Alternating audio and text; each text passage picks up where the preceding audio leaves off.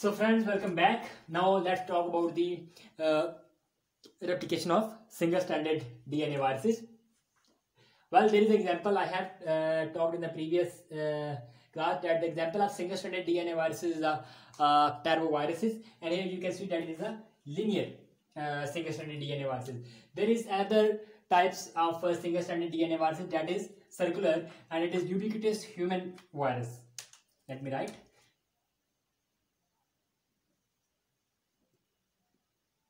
Ubiquitous human virus very small virus okay now these two viruses are the example of uh, single stranded dna virus. Now what will happen? Uh, how it will replicate? Let's talk about it. Obviously the process of attachment and penetration and uh, the release of genome from the capsid will be same. Obviously endosomal lysosomal enzyme will degrade this uh, capsomer of this capsid and dna single stranded dna will come out of the uh, come out of this endosome and now what will happen this single stranded dna it will get enter into the nucleus. Now, in the nucleus, we need to make RNA so that protein synthesis can take place. But you know that RNA polymerase cannot work on single-stranded DNA. So it means this single-stranded DNA, first of all, it have to convert into a, a double-stranded DNA so that transcription can take place and RNAs can form. So obviously with the help of uh, uh, uh host enzymes, it will convert into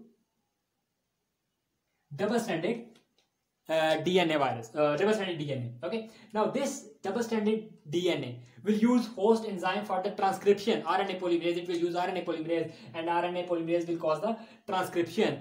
And in as a result of transcription, different messenger RNAs will be formed. Messenger RNAs will be formed. Okay. Now these messenger RNA they will go out of the nucleus and they will attach on the ribosome. As a result, protein synthesis will take place and different proteins will be formed. Different protein will be formed in the cytoplasm. Now, again, we need to uh, replicate uh, this DNA. And we know that the original genome of this virus is single-stranded DNA. So obviously we need single-stranded DNA copies. So now what will happen?